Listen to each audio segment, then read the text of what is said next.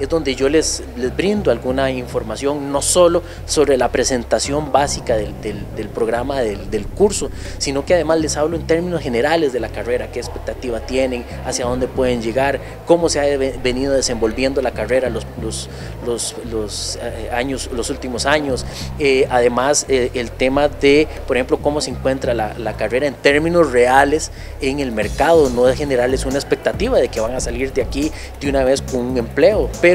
La idea es pues generarles